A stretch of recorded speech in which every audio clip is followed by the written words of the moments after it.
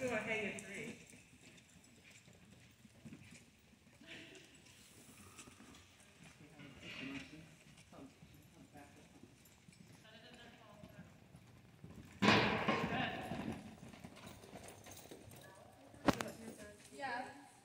Yeah, give it to, and then.